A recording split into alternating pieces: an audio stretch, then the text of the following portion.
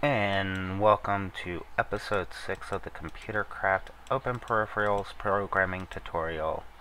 Uh, um, today I am going to be working on tutorial 6, which is arrays.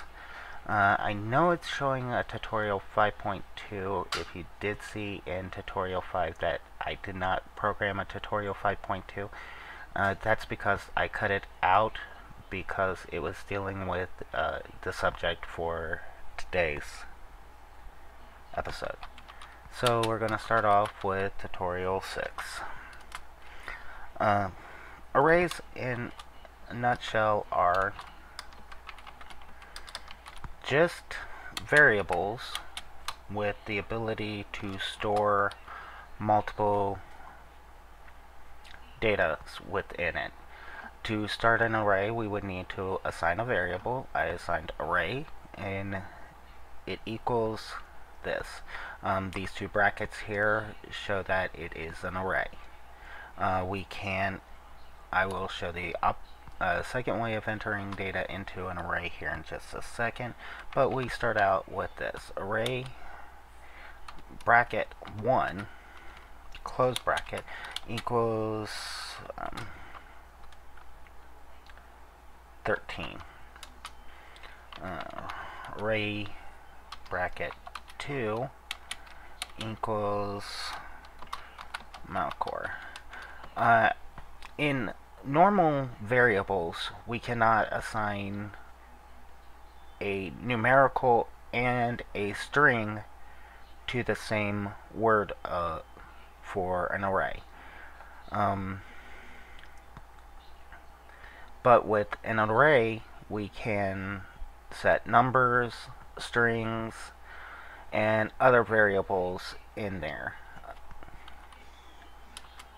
So we can print to the screen array 2 and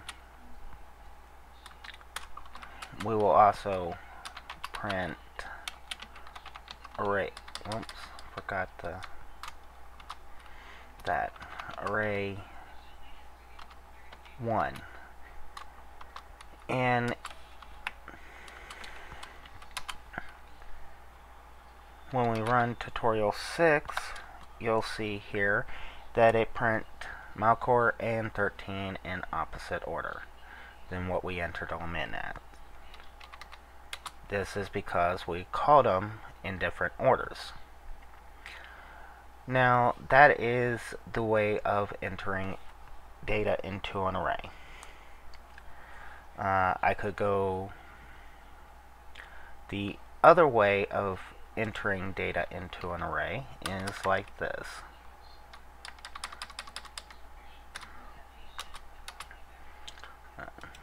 Go back up here to the array and you see where we've got that set up. We can put in 13 and then comma and we'll put my, there we go, the Malkore. Alright.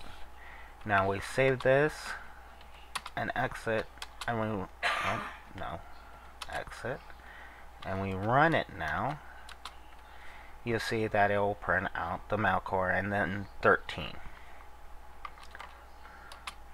The reason why is this is value 1, value 1, this is value 2, value 2. Um, it's a different way of entering it in here.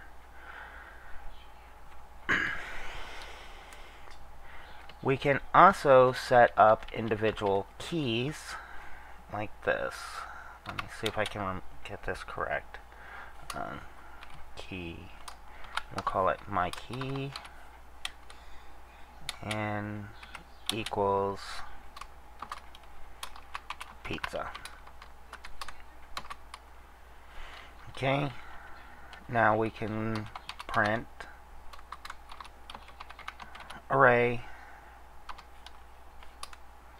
my key.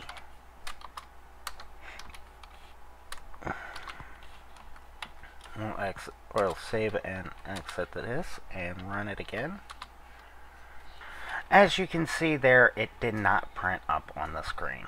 Um, the reason why is when you're calling it back, uh, we have to make sure that this has quotes around it.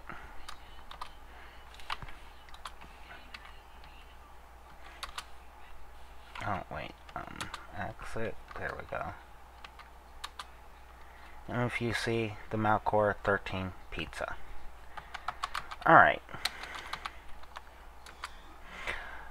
Now, to go into what was covered in the extra bit of 5.2 that I did not cover, if you notice, I have this printing out here with three separate lines. What if I wanted to make the array bigger?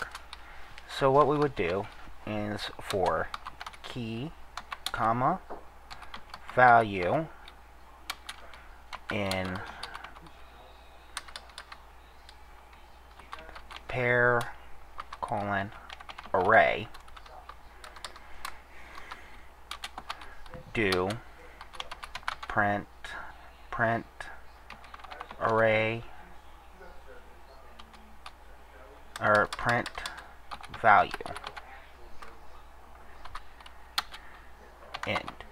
If you see that this is just one line, it is using the for loop uh, like we talked about earlier.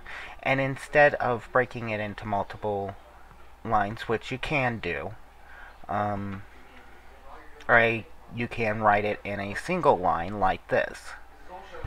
So, as you can see here, uh, the for loop says for each key and value in, oh, I see an error here in my coding.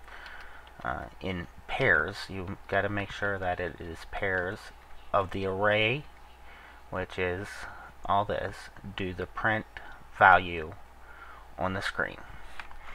So let's do this here real quick. Tutorial 6. And you notice that instead of three separate lines of code, we can actually make it just one. Uh, and if we add more to this, like um, 54, 98,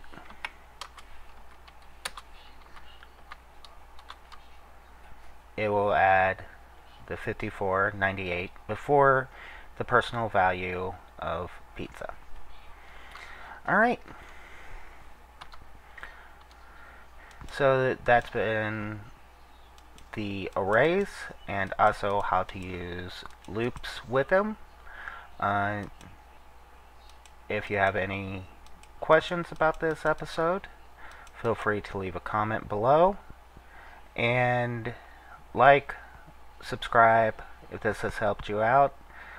And I will be glad to help you out. Until next time, later Gators.